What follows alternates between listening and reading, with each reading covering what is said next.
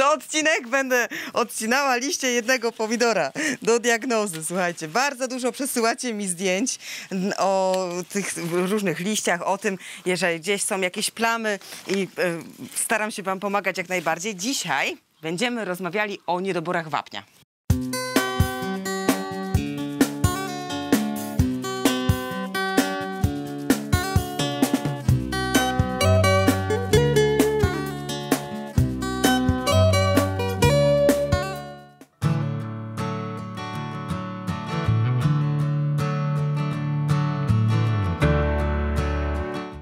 Słuchajcie, braki składników pokarmowych na liściach to jest częsty problem.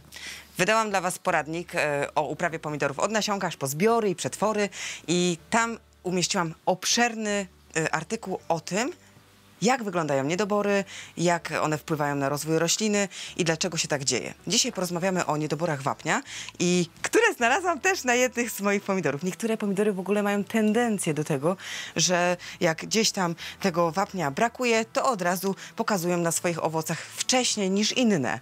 I czasami jest tak, że trafi nam się taka odmiana, która po prostu jest taka mega wymagające co do wapnia. Wapń to nie to samo co wapno kredowe, żebyście czasami nie używali zamiennie wapna. Chodźcie zobaczyć.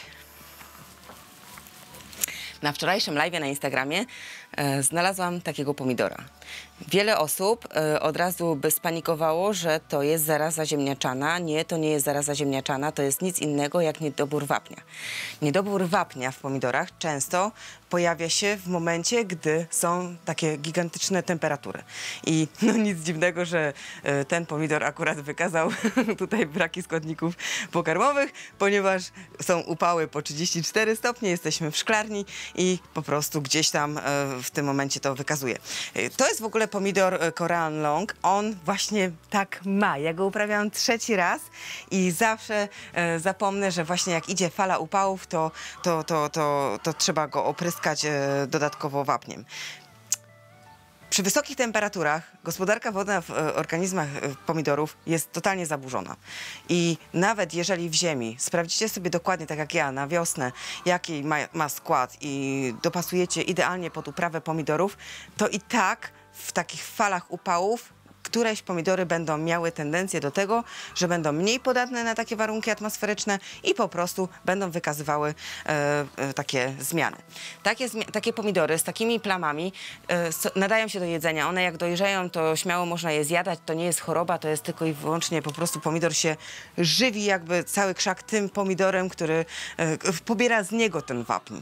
I czy odcinać, czy nie. Ja e, na tym etapie nie odcinam. Zrobię teraz właśnie oprysk z wapnia, żeby wykarmić te moje pomidory i po jakimś tygodniu dopiero usunę tego pomidora. Dlatego, że takie chore tkanki e, to jest świetne miejsce do tego, żeby weszły choroby grzybowe. Każda, każde opady deszczu, każda dłuższa, większa wilgotność powietrza będzie powodowała, że w tym pomidorze po prostu ta brązowa plamka, która jest dość sztywna, jak, tak, jak strupek na kolanie, tak e, przy takich wysokich opadach deszczu i wysokiej wilgotności one się robią miękkie i tamtędy wchodzą e, choroby. Także e, usuwam, tak? Usuwam. Wiem, że na niektórych forach piszą, żeby absolutnie nie wycinać, żeby nie ten, ale ja e, praktykuję u siebie, że jednak wycinam, bo obawiam się, że te choroby grzybowe wejdą przez chore tkanki, znaczy nie obawiam, tylko wiem po prostu, że tak za każdym razem jest, bo jak zostawicie na dłużej, to zobaczycie, że od dołu już będą plamki grzybowe i nie ma co tego w nieskończoność przyciągać. Niedobór potasu też e, wpływa na to, że e, pomidory wcześ, wcześniej wykazują niedobory wapnia. Jak przejrzałam sobie wszystkie moje pomidory tutaj w szklarni oraz te w gruncie, tak tylko na tym jednym e, są braki wapnia. Jak teraz to wszystko dostarczyć. Na rynku są dostępne, dedykowane e, takie nawozy, które są e, do uzupełniania wapnia pomidorom. Ja też z takiego jednego korzystam. Jak to zrobić? E, Najlepiej po godzinie e, 19, 20 podejść z opryskiwaczem, ustawić dyszę na takie zamgławianie i opryskać nasze pomidory dokładnie od dołu. Nie od góry. Od góry wszystko ma spływać, a od dołu mają chłonąć te wszystkie składniki odżywcze. Jeżeli e, nie dostarczycie wapnia, prawdopodobnie na większości e, owoców będą takie brązowe ślady.